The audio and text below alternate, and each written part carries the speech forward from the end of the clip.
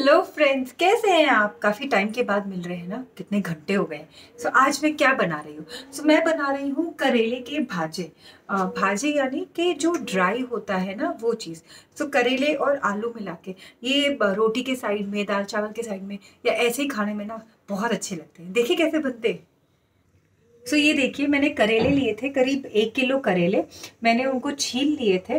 अगर आपको दिखाऊँ स्किन उनकी ये देखिए। मैंने हल्का हल्का उनको छीन लिया था और फिर अंदर में क्योंकि थोड़े मोटे बीज थे मैंने बीज निकाल के उनको काटा है हल्दी नमक लगा के आधे घंटे छोड़ दिया। हल्दी नमक इसलिए ताकि इनका कड़वापन जो है निकल जाए। सो so, अगर आपके बीज आ, कच्चे हैं तो मत निकालिए और पके हों तो ज़रूर निकालिए। और छिलका भी आपके ऊपर है आप कितना उतारना चाहें। और ये मैंने दो बड़े आलू है फाइनली चॉप करके रख लिए हैं। तो अब मैं कढ़ाई गरम कर रही हूँ अपनी। तो मैंने दो बड़े चम्मच तिल का तेल लिया है। आप सरसों का तेल भी यूज़ कर सकते हो। मेरे अभी सरसों का तेल जो है, ख़त्म है और मुझे टाइम नहीं मिल रहा लाने के लिए। तो इधर मैं ये पानी बड़े अच्छे से ड्रेन करके ये सारे आलू डाल देती हूँ।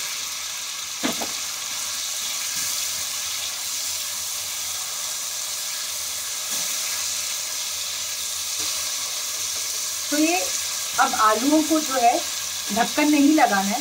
खुले में ही कॉन्स्टेंटली हल्का हल्का हिलाते हुए हमें कुक करना है जब तक ये पूरे पक नहीं जाए। तो आलू है तो हल्का हल्का छिपकेगा पर नो प्रॉब्लम जैसे ही हम करेले डालेंगे वो तैयार हो जाएँगे।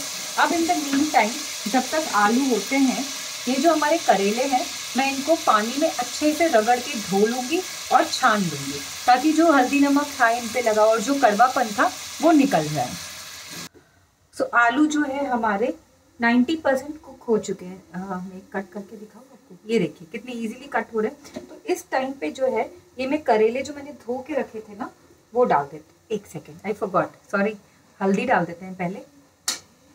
हल्दी को कुक कर लेते हैं।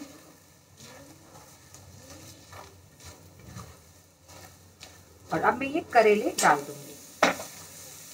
और अब हम इसे बढ़िया से मिक्स कर देंगे। और धीमी आँच पे इनको कुक होने देंगे जब तक करेले भी कुक नहीं हो जाए और दोनों ना क्रिस्पी ना बन जाए। तो थोड़ा टाइम टेकिंग है, पर आप ये धीमी आँच पे रख के अपना बाकी दूसरा काम कर सकते हो।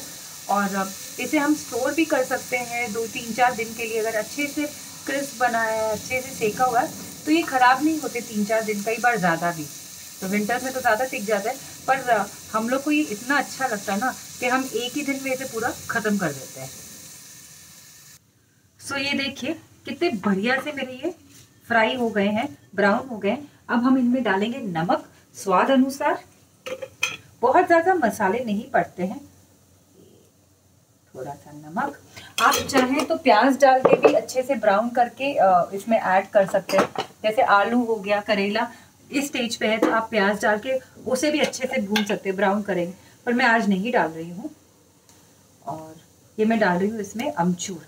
अमचूर से क्या है स्वाद आ जाता है। और मेरा बेटा ना, वो भी खा लेगा। वरना कड़वाहट जो है ना करेले की, फिर वो मना कर देगा कि मुझे नहीं खाना। और ये मामूली सी लाल मिर्च।